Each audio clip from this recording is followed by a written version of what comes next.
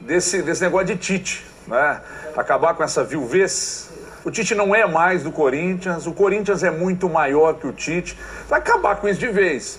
É, eu entendo perfeitamente o que o Denilson quis dizer. Só que o Carilli barra Osmar Loss, eles, eles ele, pelo menos parece, para mim que estou de longe aqui per, eh, percebendo, eles não estão mexendo muito na estrutura. O time perdeu qualidade? Sim, perdeu. Mas a estrutura, a forma de jogar, continua.